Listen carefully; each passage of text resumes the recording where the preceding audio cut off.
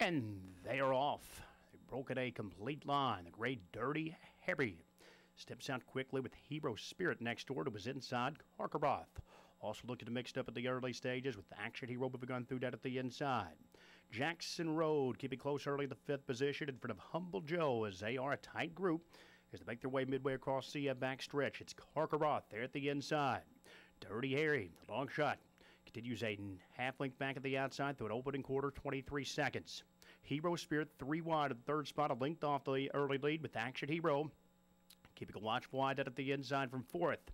Humble Joe is up and around Jackson Road off the back as they move midway around the far turn. It's Car Karkaroth, who's been there under heavy pressure throughout.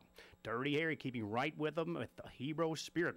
To the outside, three wide third. So Karkaroth uh, there with a couple of long shots past the half, 47 seconds, and Karkaroth begins to give way down at the inside. Dirty Harry's upset minded as his Hero Spirit as they turn for home, but it's Hero Spirit at a big price trying to outfoot Dirty Harry in the late stages. Four outside, Humble Joe's at the scene running late. Karkaroth trying to stay in with Action Hero in between, but the gray Dirty Harry is still a length clear. Four outside, Jackson Road is flying late. Center of the track, it's Humble Joe. Dirty Harry needs a line. Here's Jackson Road from far back. Jackson Road from worst to first. He swept past win it.